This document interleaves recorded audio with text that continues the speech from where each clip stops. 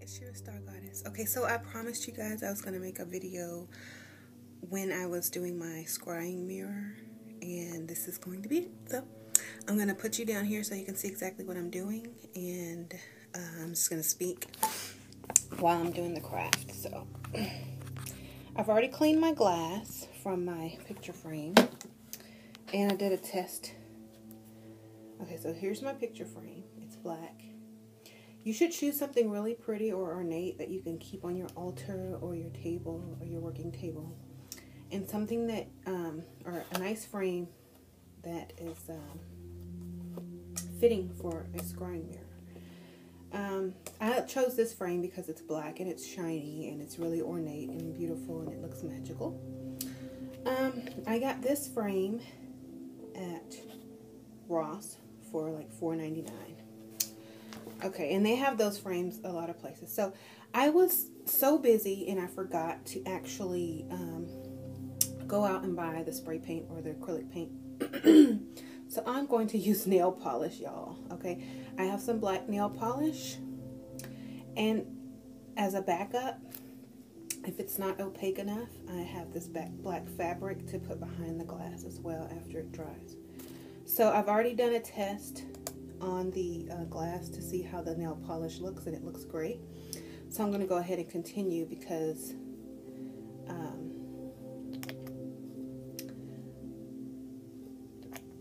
I have this on hand so I'm going to use it. I always like to use things that I have on hand instead of going out and buying new things because, you know, why not?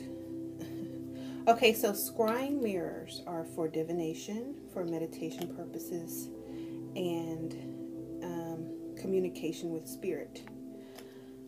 Um, the reason that you paint it black is because you're going to look into this the reflective surface of the mirror and you're going to envision or you're going to drift off or daze off into this. Um, some people use candles to scry. Some people use regular mirrors. But as long as long as you can like go off into a daze by staring at this, you can use it for scrying. I'm just gonna go ahead and pour it out and just so the reason that I want to make a scrying mirror is because I have used the flame for scrying on a candle already and it works very well for me. Um, I want to try this method because I have not tried this before.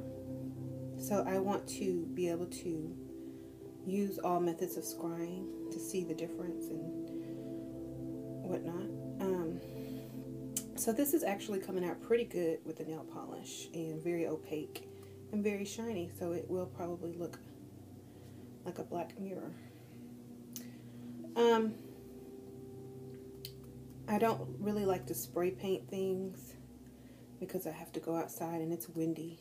Um, so I was going to buy like regular acrylic paint, but this works even better actually.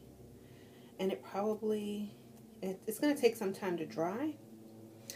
But, um, so a lot of people who have used scrying in the in history, Nostradamus used scrying when he wrote all of his writings and prophecies and whatnot. Um, a lot of magicians use scrying to um, promote astral travel as well. Okay, I'm just going to let this dry and get. And scrying is a scrying mirror is basically new.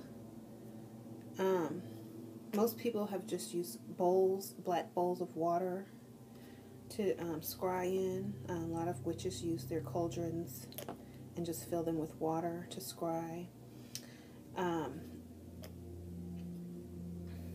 sometimes you can go off into different dimensions and worlds when you scry. and this just helps you to put your focus onto something other than what's you know going on around you. So while this dries, I want to um, talk to you guys um, just I'll just do a friendly vlog here. I'll put this up here. Um, so after this dries, I'm going to put it in here backwards. This part's going to face the back so that all you get is the finish on the other side of the glass like this. See, uh, it's kind of see-through, so I might have to go over it with another coat. You see, you can see through it. But that is why I have this black cloth to go behind it in the frame so that anything that's see-through will not come peep through. Oh, that rhymes. Okay. I'm going to probably go over this with another coat. Okay, so here is the back of the painted mirror. And here's the front. So you can see it's very reflective, but you can still kind of see through it a little bit. So that's why I have this black cloth to put behind it so that it totally looks black. See? Much better. Okay. So now that I have that, I'm going to take the frame.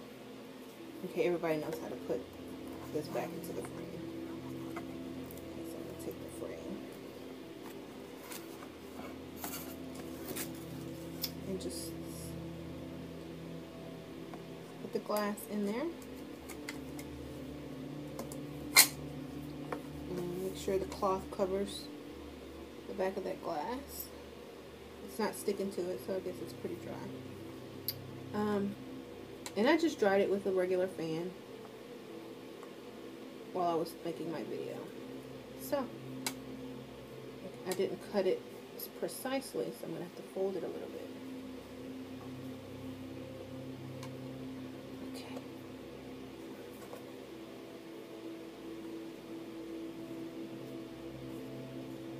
Okay. That should do it. See how this turns out.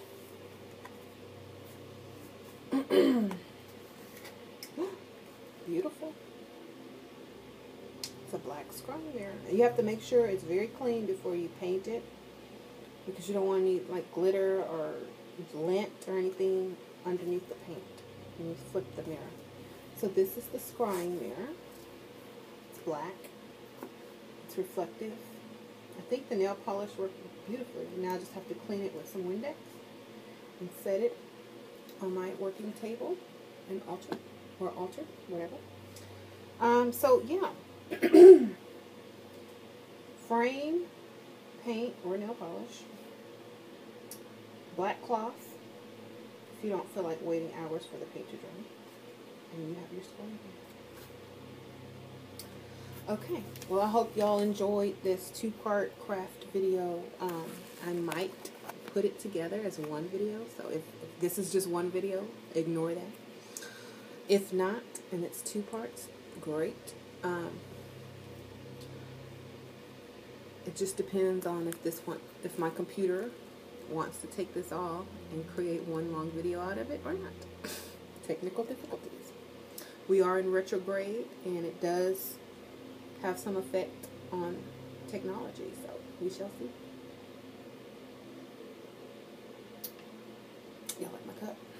Okay, well, thank y'all for watching. Blessings. And please don't forget to subscribe if you haven't already. If you have any questions, if you're going to try the craft that I made, the black scrying mirror, comment below. Um, you know, I would love to, to, um, to see how yours turned out.